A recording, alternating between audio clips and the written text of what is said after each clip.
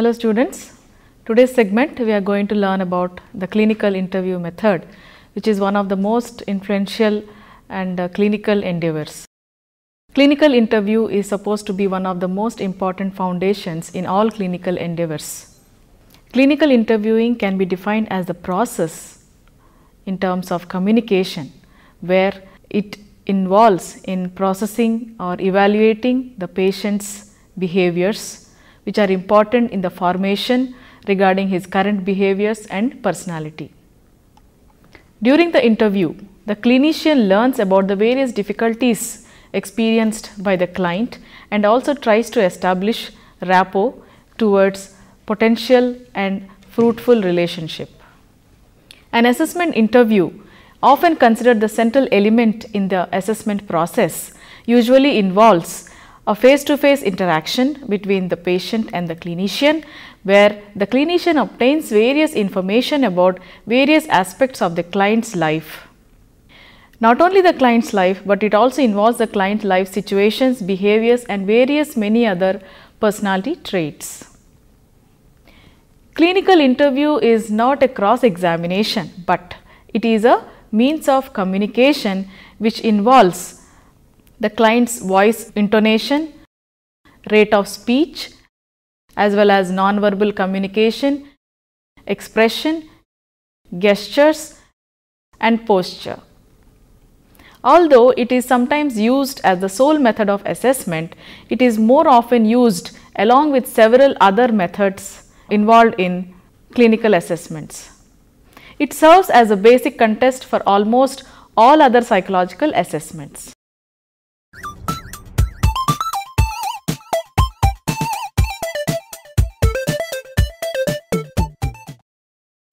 Now, we are going to discuss about various types of interviews.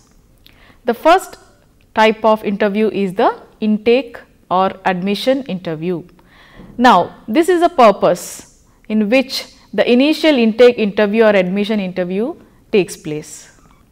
It helps to develop a better understanding of the patient's symptoms or concerns in order to recommend the most effective treatment plan or intervention.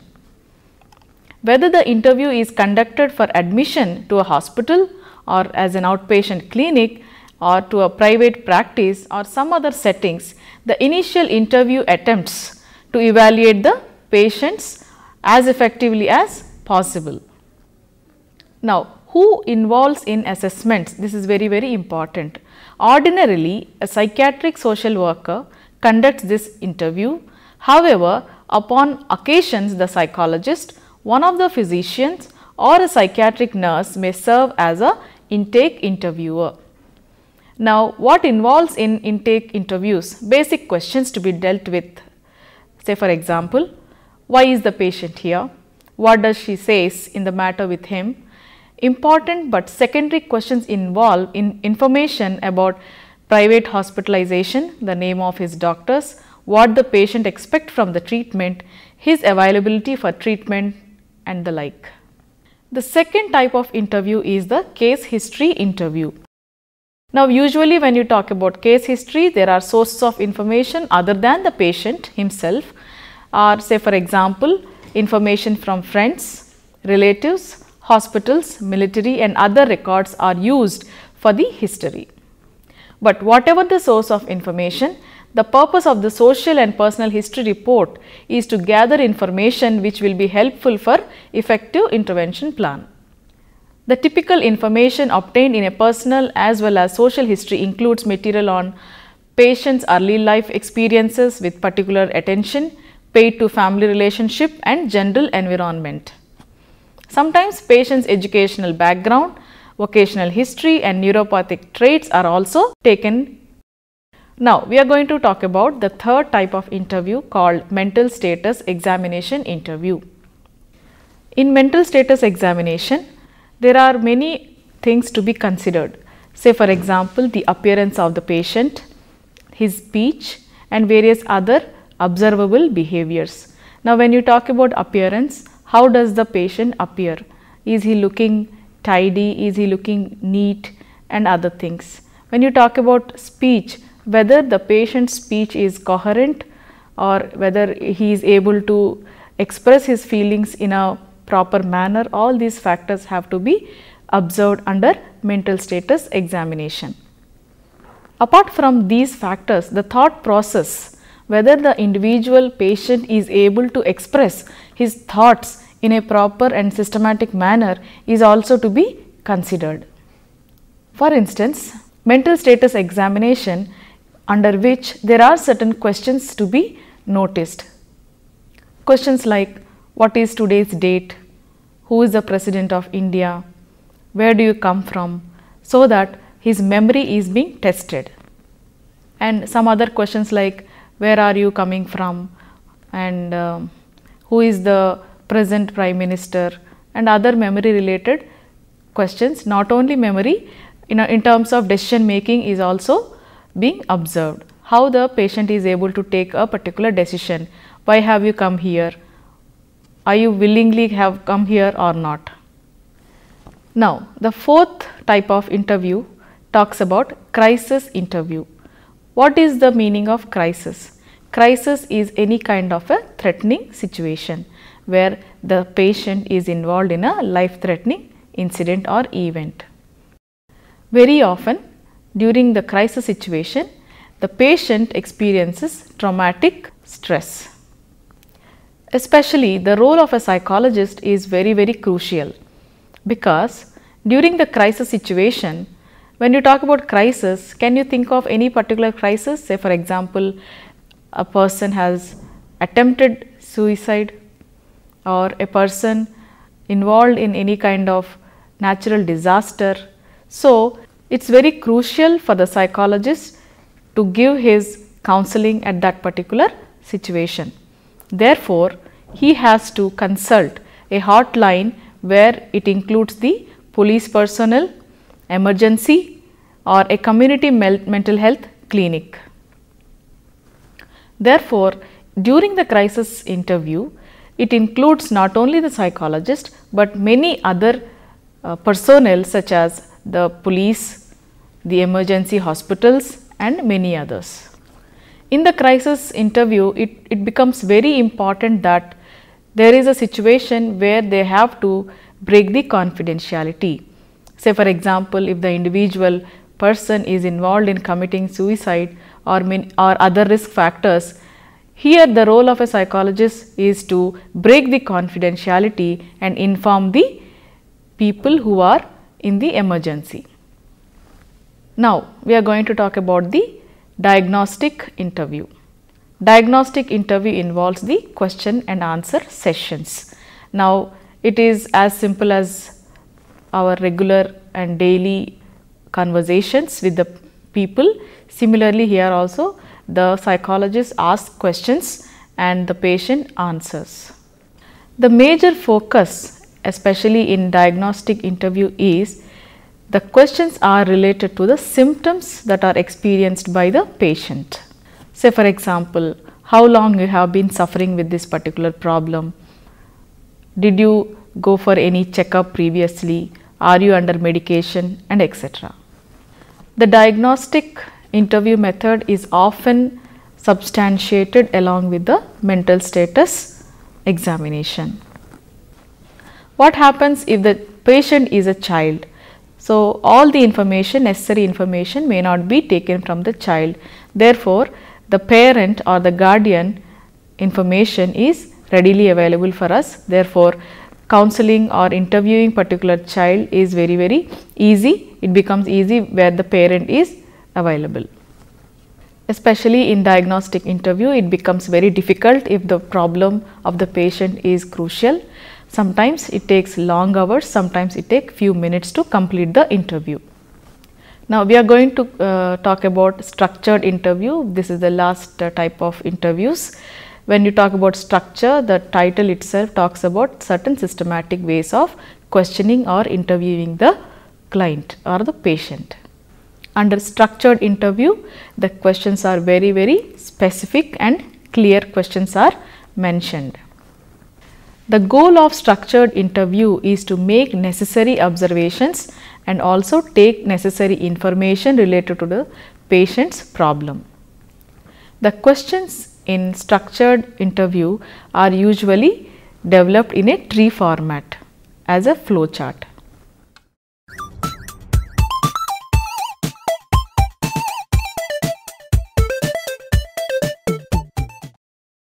We are going to talk about the various phases of interview. When you talk about interview, what are the various stages of interview? We can't say that an interview begins and ends. So, there is a process. So, what actually takes place in an interview? The first is the opening phase.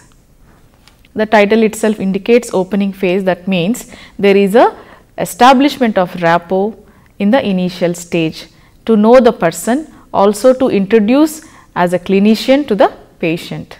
It becomes very very necessary that rapport establishment is initially established.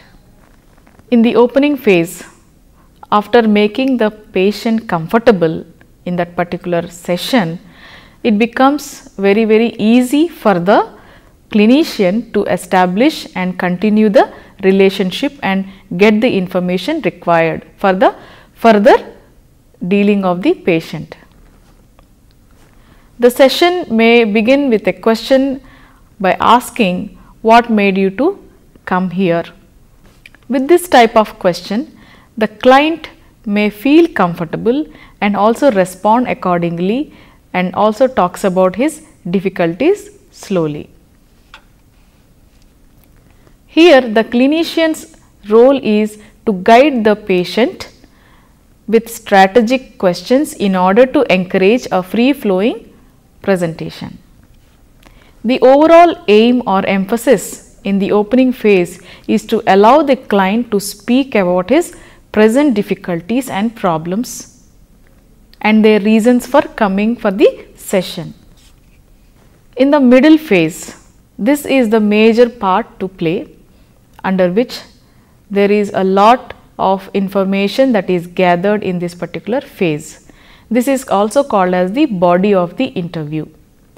Here so many problems are discussed, problems in terms of the patient's life events, present circumstances, difficulties, financial problems are discussed, also physical health problems are also discussed. After knowing all these problems of the patient, a tentative hypothesis can be established by the clinician. Not only in terms of uh, getting the information or establishing a hypothesis can also be accepted or refuted not only considering with the primary information, but also the additional information that is the assessments that gives us much more concrete uh, hypothetical information about the patient.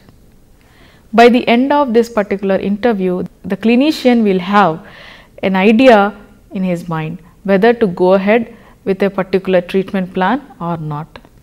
In the final phase, before the interview is going to end, there are certain important necessary uh, precautions to be taken by the clinician as well as the patient. Let us see how. There is a need to restore the patient's calm, give him information and plan with him for the next step of the session which may include assessments or which may include the therapeutic session which is actually the psychotherapy that can be established. While the clinician is sympathetic attentive to the realistic needs and feelings of the client, blanket approval or unconditional support is crucial in this particular phase. Sometimes being unconditionally supportive may harm the patient.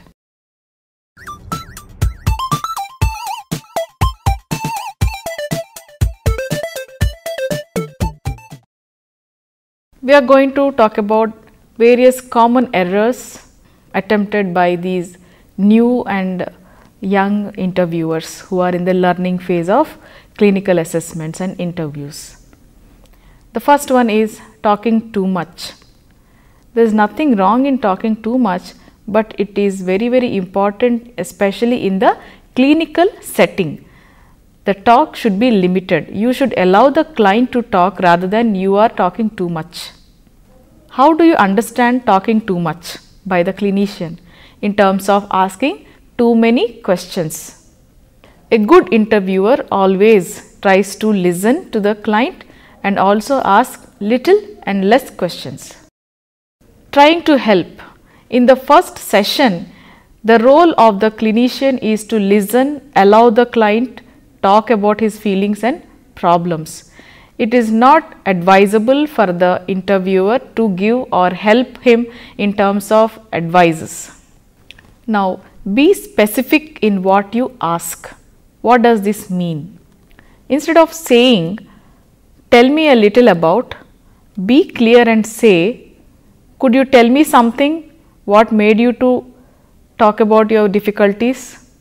Or could you tell me about your relationship with your father? Could you tell me about your relationship with your boss? And many other questions related to so that you can infer more information from the client. The fourth error is asking several questions at a time. It should not be like that. It should be one question one time so that the patient is not confused. The last one is asking multiple choice questions. It is very important that the interviewer should ask one question with a probable answer that can be given by the client. Say for example, can you talk about your school? Do you like your school? It should not be in terms of multiple choices where the client may be confused.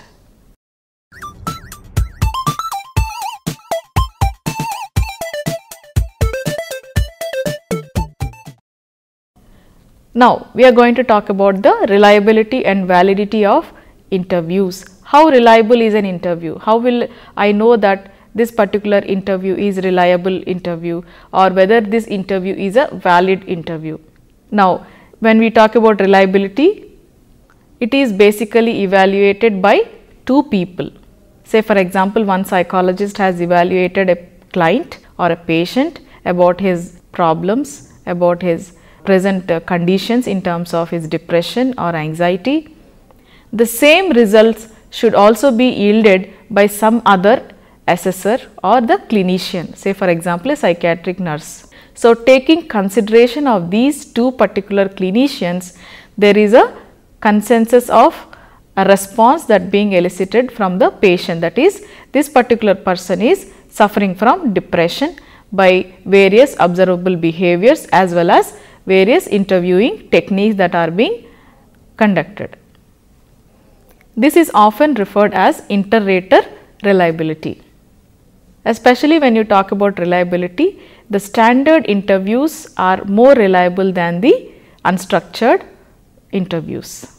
Another type of reliability is the test retest interviews. The consistency of scores or diagnosis across time we expect the test retest reliability of an interview is quite high when the intervening time period between the initial testing and the retest is short. However, when the interviewing time period is long, test retest reliability is ineffective. The validity of an interview is necessary and it measures what it is supposed to be measuring or what it intends to measure the validity of any type of psychological assessment can take many forms such as content validity, criterion validity, construct validity. In case of structured diagnostic measures, the content validity is widely acceptable.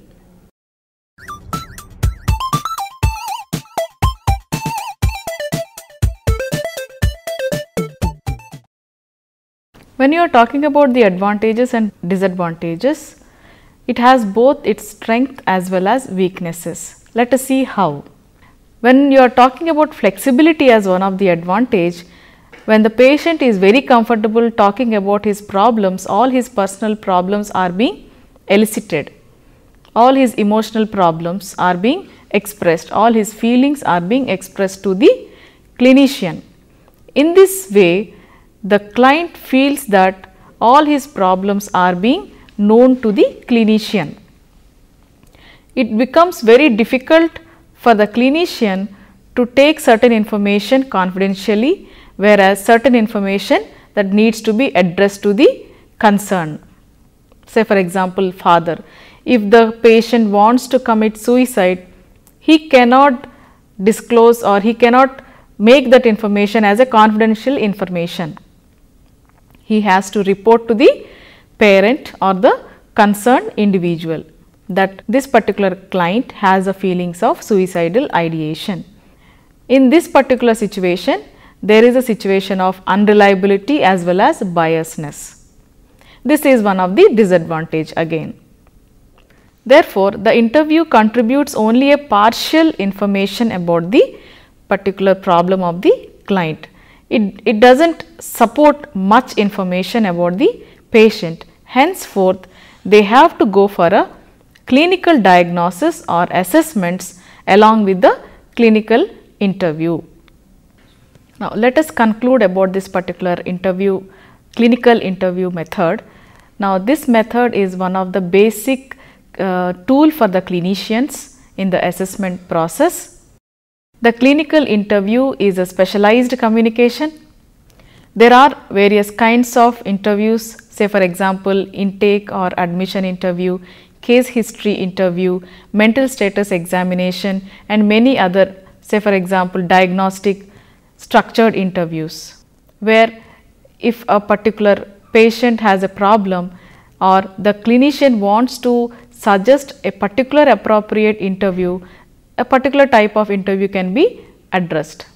Now, there are three phases of interview say for example, the first phase is the opening phase, it talks about rapport establishment, the, the middle uh, phase that means the body of the interview where all the actual information is being elicited from the client and the final is the, the final phase which talks about the how to close the session and how to prepare the client for the next visit.